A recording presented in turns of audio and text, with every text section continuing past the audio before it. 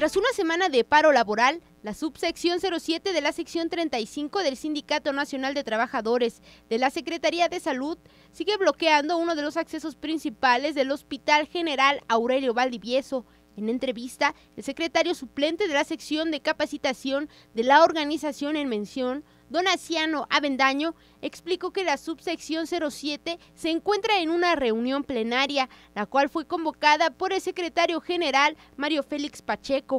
Según la información que tengamos en, este pleno extraordinario que fue convocado por el secretario Mario Félix, los compañeros de la subsección este, se encuentran ahorita reunidos en una asamblea. 400 personas tenemos este, convocadas acá.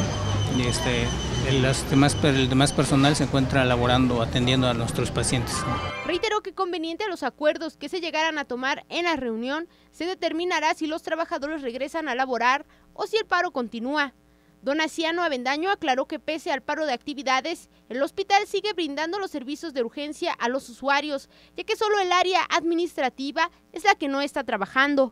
Normalmente están trabajando los servicios urgentes, eh, todo lo que es hospitalización, y este, pues acá nosotros seguimos en, plantón, mientras eh, nuevas, nueva información de nuestros líderes sindicales. Con imágenes de Rafael Vargas, reportó para MBM Televisión, Vicky Ramírez.